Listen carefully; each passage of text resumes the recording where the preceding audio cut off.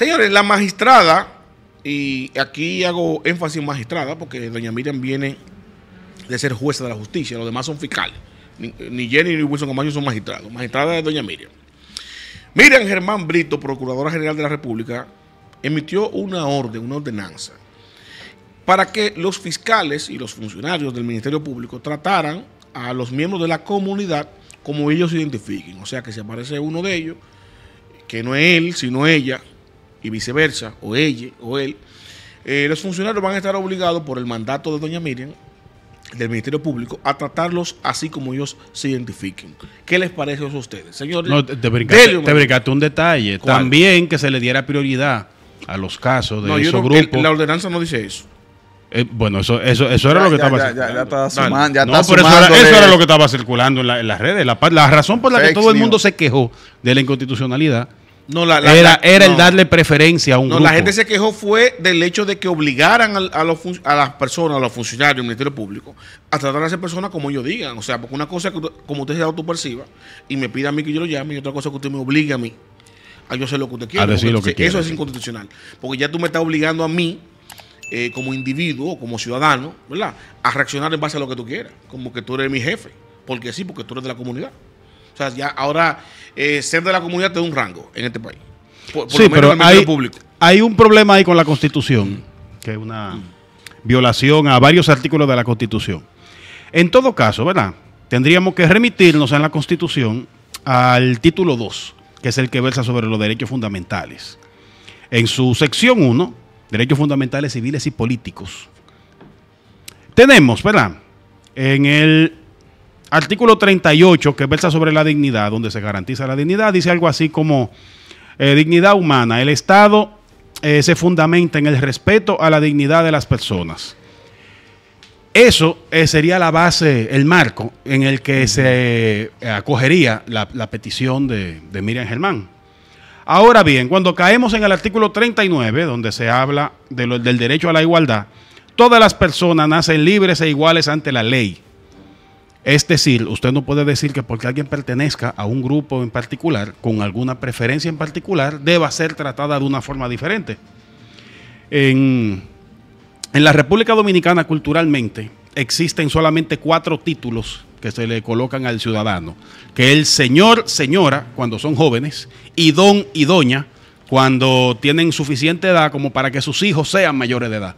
O sea, cuando sus hijos son los que adquieren el nivel de señor y señora, entonces eh, es- se, se No, le que- llamaría don y doña. No, pero que señor y señor está ligado a estar casado o no. Eh, sí, estamos hablando de personas adultas, ser eh, No, no, desarrollado no por edad, completamente. si- está casado. Eh, sí, en la sociedad. Una joven de 25 años es señora si está casada. Ahora, si no está casada es señorita. Eso, eso está muy anticuado ya. Pero no ese es el concepto de, señor, de señora o señorita, hermano. No, no, eso, eso ya se Pero quedó dale, en el dale, pasado. dale. Esas son de las cosas que se quedaron en el pasado. Entonces, resulta que, eh,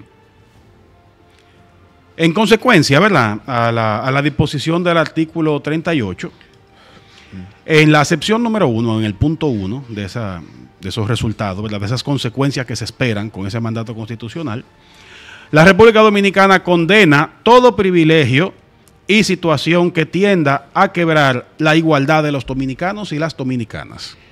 Sí, es ya- decir, que de plano ya la constitución entiende que esa acción está mal. O sea, no es que es algo inconstitucional, es que es anticonstitucional. el privilegio.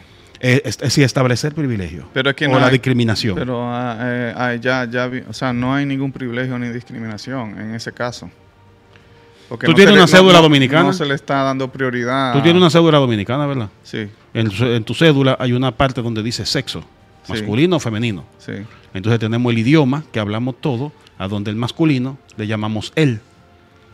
El que a ti, por alguna condición en particular tuya, haya que llamarte ella, a pesar de que diga masculino, Se me está tu- dando un privilegio. tu sexo se te está dando un trato diferente al de todos los demás. Pero es un trato que está abierto a todo el que quiera a todo el que quiera reclamar ese trato. Exactamente. Entonces no hay ninguna discriminación. Eh, sí, sí hay discriminación. No, discriminación hay si, si yo puedo decir, "Ye- tienen que llamarme, eh, tratarme como mujer, pero al otro que quiere que lo traten como mujer, no lo, no lo van, no lo, no lo traten como mujer.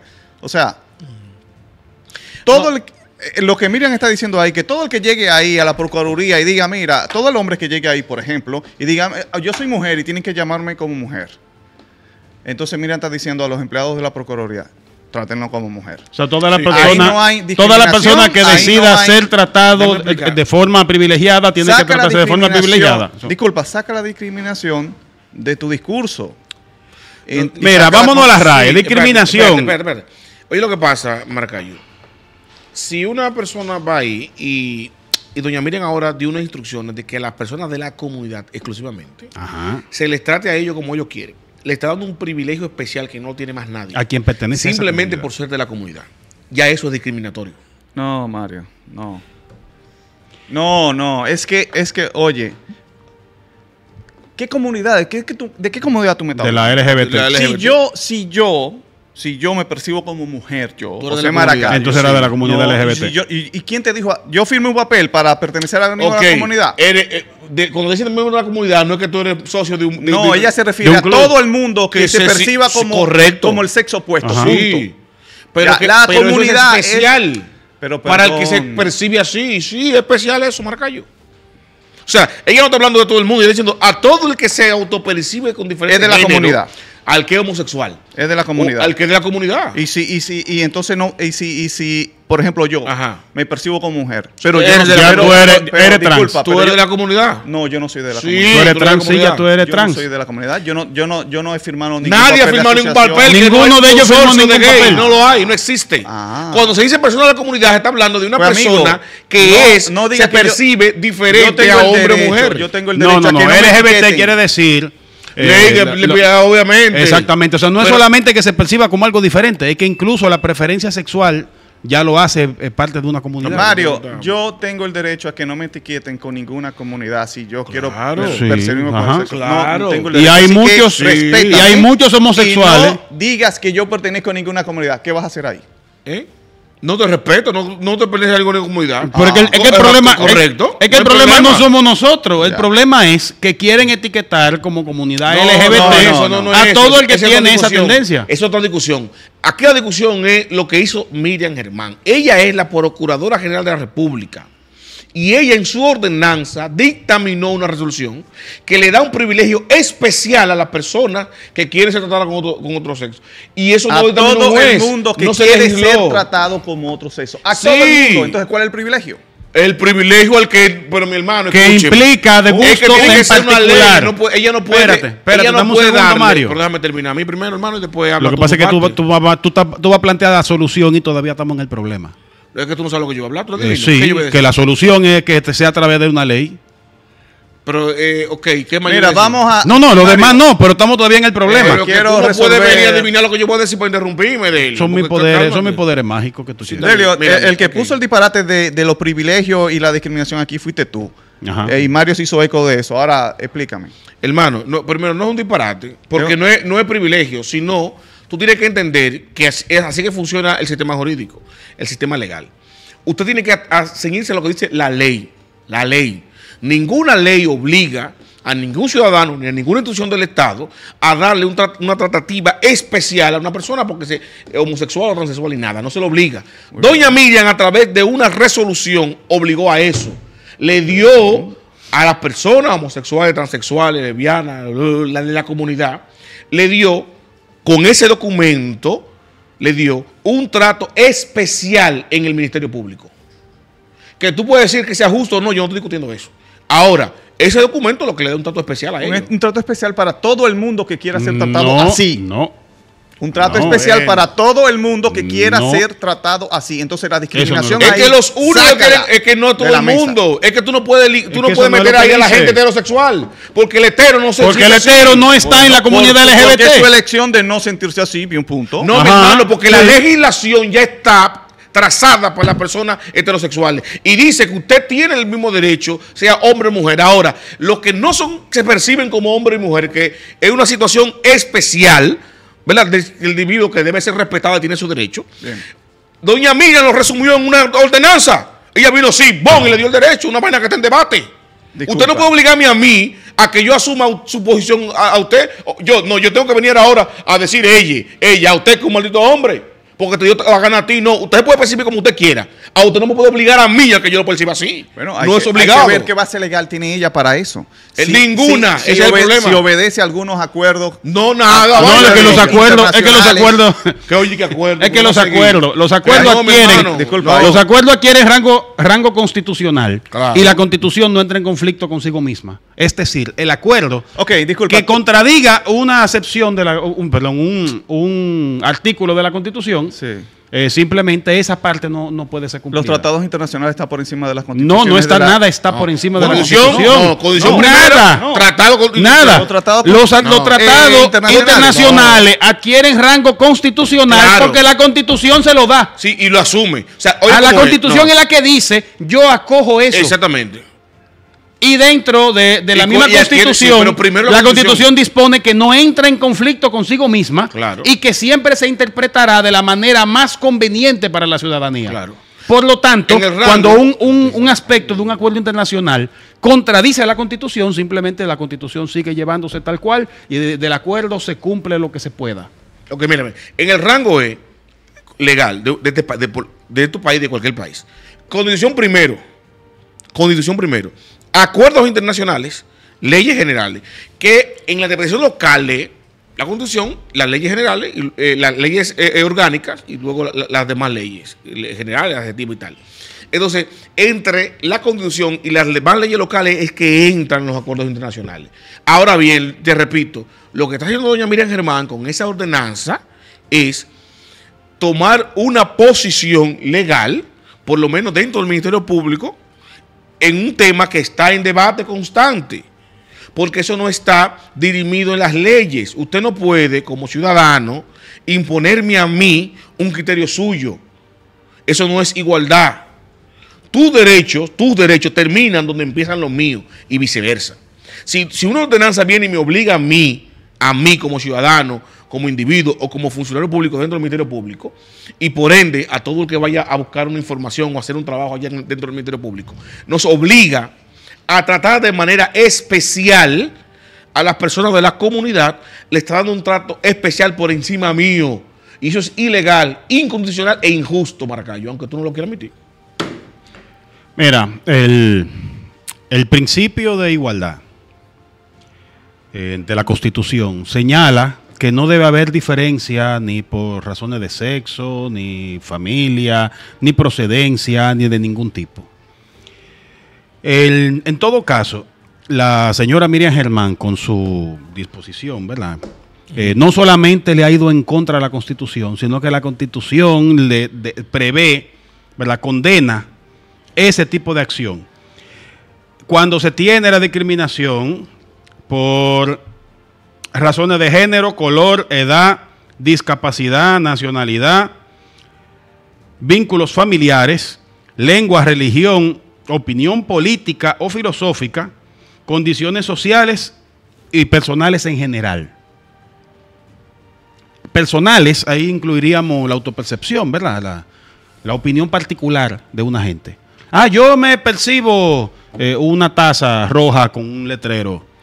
Entonces a mí hay que tratarme como taza roja con letrero. No prevé eso. A mí hay que tratarme como cualquier otra persona, como cualquier otro ser humano. No importa lo que yo me perciba. Yo debo ser tratado como cualquier otro ser humano. Eso de que a mí se me llame por la forma en la que yo quiera que se me llame, ya de plano está en contra de la Constitución. Y pertenece entonces a la discriminación. Que ahí yo quería irme a la RAE.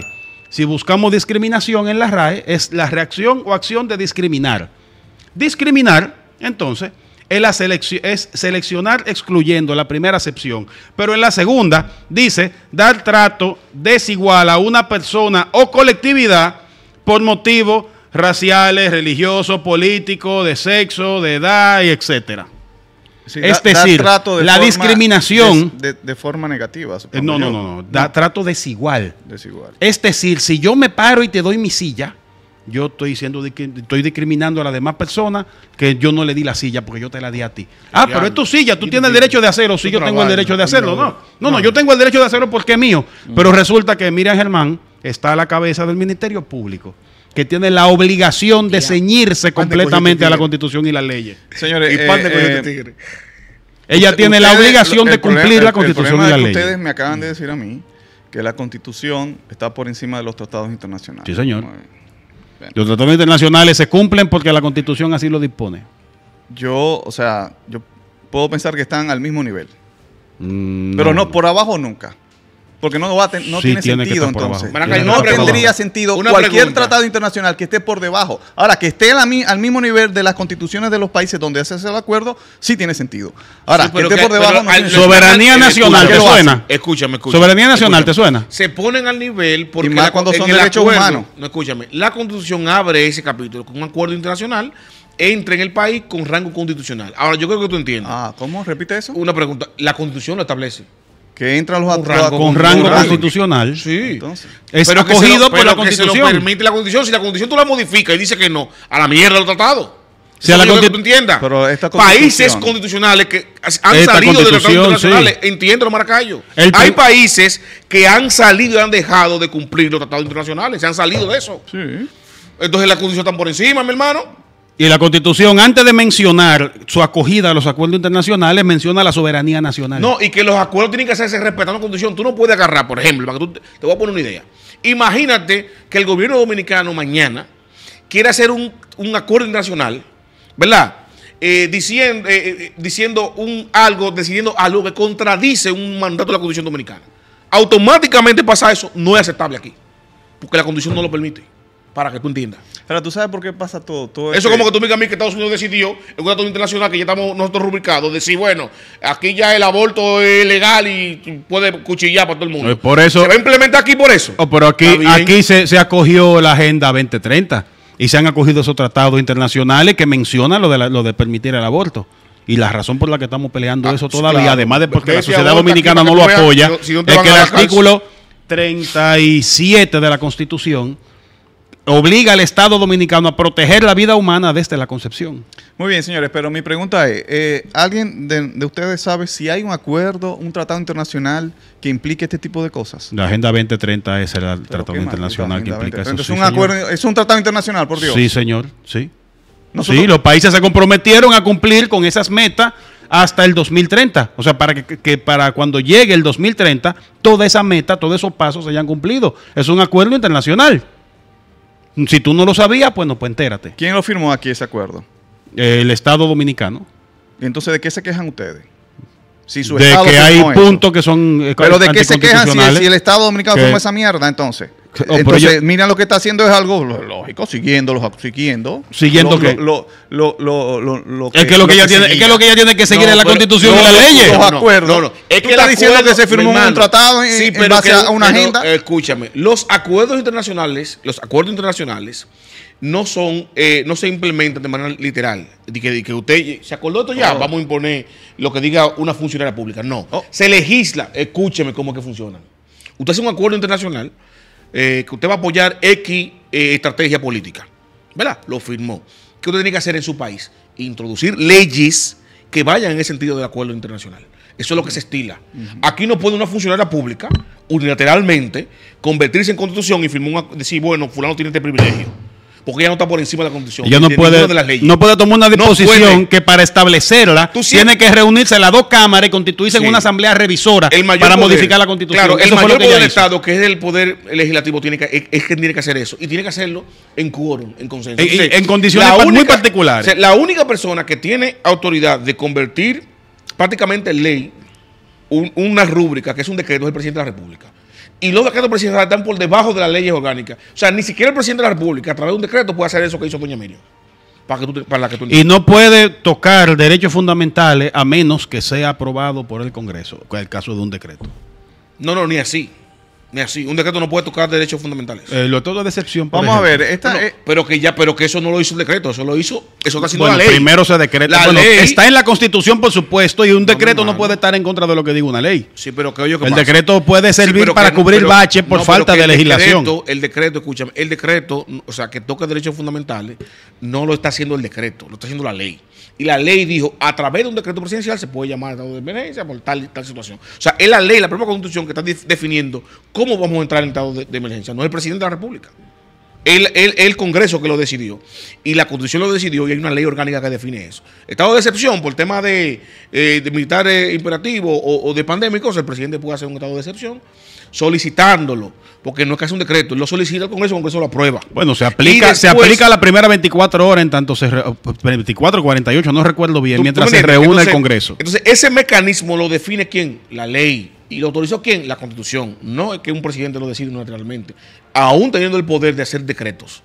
O sea, para mucho menos tener esa potestad, doña Miriam Germán. Este tipo de acciones de Miriam Germán, por- por ejemplo, va en consonancia con los lineamientos de la ideología, yo no sé si ideología, pero del Partido Moderno Revolucionario. ¿Perdón? El Partido Bueno, Revolucionario es el Moderno. partido de gobierno ¿Qué y el presidente fue el que lo puso Va a en consonancia con ese tipo de acciones, por ejemplo, lo que acaba de tomar. presidente Luis Abinader Hermano, fue el que mira, introdujo. Pero tú estás viendo los ministros, ¿cómo se llama el, el cacopelado este de planificación, de vaina de economía, ¿cómo se llama? El pro LGBT, ¿cómo se llama? Cacopelado. Ministro de, de Economía. La última vez que se introdujo el tema del aborto disculpa. fue el presidente Luis Abinader que Son- lo hizo. entonces, evidentemente, muchos de los funcionarios de este gobierno han demostrado que apoyan la agenda LGTB, la, la- la- la apoyan. La apoyan. Y Isaconde, ti- claro, Isaconde se ha manifestado desde, si- desde su función de ministro en favor de la, de agenda. Eh, hay una viceministra también que lo ha hecho, inclusive dentro eh, de su oficina han eh, puesto, instalado la, bandera eh, arcoíris y tal. eh, en pro de apoyo, ¿verdad? Un apoyo que, que eso es criticable, ustedes tienen el derecho de criticarlo, ¿verdad? ¿Qué yo digo? Ellos tienen el derecho, eh, in- independientemente de que sean funcionarios, de exigir que se traten con respeto a la comunidad, porque eso, es cierto aquí, no solamente en República Dominicana, sino en el mundo entero, la eh, gente homo- homosexual, gay, son tratados con, son irrespetados por tigres rock izquierda, machistas, diqueteros, que agarran, si, si conocen a una persona que es homosexual, ya por eso la maltratan, la humillan, y eso es verdad. Y eso hay que combatirlo, eso está mal. Eso no debe hacerse. Ahora, el hecho de que hayan sido carne de cañón para los- estos victimarios, estos trogloditas que agarran y maltratan a, los homosexuales, no quiere decir que ya la solución es que nosotros le- lo- los convertamos a ellos en una especie de, seres humanos especiales. superiores a nosotros. No, porque la- la- eh, eh, hacerle justicia a ellos no equivale a ponerlo por encima de nosotros, porque estamos haciendo lo mismo. O sea, al revés. Si, o sea, si la sociedad ahora se ha articulado por un grupo de trogloditas a maltratar a la comunidad LGTB, la solución no es poner a la comunidad por encima del ciudadano eh, común, porque estamos lo mismo, es el, mismo- conflicto que tiene el machismo y el feminismo. La solución en contra del machismo no es poner el feminismo por encima de- eh, a la mujer por encima del hombre, es buscar el equilibrio. Entonces, ¿el equilibrio cuál es? Tratar a la comunidad con respeto, tratar sus derechos, porque ellos son iguales a mí ante las leyes, son iguales a mí. Ahora, cuando usted le da un privilegio especial por encima de mí, yo, que por las situaciones sociales que han pasado, eh, tengo el privilegio de que los trogloditas no es a mí que me maltratan, sino que lo humillan a ellos, yo no voy a ser consono con su causa de que para que le den un trato especial por encima de mí. Porque yo, no me voy a mucho un brazo para que ellos tengan su do bueno. Entonces, el PRM, dices tú, en ese sentido es liberal. O sea, va, va por la Liberal. línea- Liberal. Va o por sea, la que el que es línea- pro LGTB Eso no es liberal. liberalismo. Y eso, Maracayo. Eso no es No liberalismo. manipules. Hablo en, No manipules. hablo en el sentido en contra del conservadurismo. No, pero es que, es que todo régimen totalitario, todo el que quiera imponer No algo, no está siendo liberal. Ser liberal es no imponer cosas. Decir, deben llamarlo de la manera que... Eso es imponer. Muy bien. Eh, pero entonces el PRM, Que a mí, el yo- PRM, según ustedes, está a favor de este De la Agenda de- de- 2030, de ese sí, sí, sí. Y desde el principio, desde la campaña, el presidente y, Y- los demás miembros del partido ofrecieron a estos, estos grupos de lobby eh, eh, a- el, el apoyo. Porque una Por eso una de las primeras acciones del presidente Luis Abinader es tratar de introducir otra vez el tema del aborto en el Código Penal. Él dijo, él, él dijo que de- Ah, sí, después de que lo introdujo. O sea, yo voy y lo hago. Ah, no, yo no estoy de acuerdo. Yo no estoy de acuerdo con que, con que a eso... Faride la mandaron a callar con ese tema. Una vez o sea, ganó la senaduría, la mandaron a callar con esa vaina. A todos estos diputados, bueno, el tú, tú y yo vimos el debate de los pre- de los aspirantes sí. a diputados del qué PRM. Toditos son conservadores. Toditos son pro vida. No, no. Todos eran pro vida Eh, ahí. eh, que yo tengo. mi- Entonces, eh, yo no, no que no me digan eso. No que yo no le creo ningún de ¿Cuál ellos. es la línea Ellos del- no son ningún pro vida. Porque pro vida es el que nada más está a favor de uno de la vida. Porque la mujer, según la, la visión de esos lo que- autoproclamados pro vida, es que la mujer se convierte en una incubadora de que está embarazada. Y la única vida que interesa es la del, la del niño, la del bebé que viene. Donde es la única vida que van a matar, Bien, según, Mario, pero tú según viste- la ley del aborto, el único que tiene que, que tiene no, que eso no es morirse es verdad, porque la- no es ley del aborto, es las causales. Y las causales son cuando la vida de ella está en juego. Ajá. Eso es lo que busca la Entonces causal. matamos al niño. Ok, no, Mario, y la matamos a ella. Disculpa, No, simplemente no hagamos nada. Es lo que se está pidiendo que no se haga. Que no se haga, no, Lo que se se está pidiendo morir. es que no Oye, se haga. debate, eso es debate. Mira, la diferencia. No, no, ¿Por otro debate no, otro debate no, el mismo debate. disculpa, pero ¿por qué Que es el acto alevoso. ¿Por qué se dispersan? ¿Por qué se dispersan? No, ellos no Estamos hablando, mi preocupación es que yo aquí no veo que los partidos políticos tengan ningún tipo de ideología y en este debate, que es un debate muy importante internacionalmente, ninguno de los partidos tiene una línea clara decir, ok, yo apoyo esto o yo no apoyo esto. Porque en Estados Unidos, ¿Cómo vamos, los de demócratas sabemos ¿Cómo que que, ninguno de los demócratas sabemos que apoyan esa agenda 20, 2030 que tú dices. Los republicanos no. Entonces, ya todo el mundo. ¿Cómo o sea, que no? El Pero PLD aquí apoya no. las causales. ¿El PLD qué? Apoya las causales. Pero el PLD llevó a Rafael, a Rafael Paz a la senaduría. Y por eso no apoya las causales. Porque Rafael Si Paz era el llevas- PLD. si- ah, bueno. Aquí todo el mundo es de izquierda.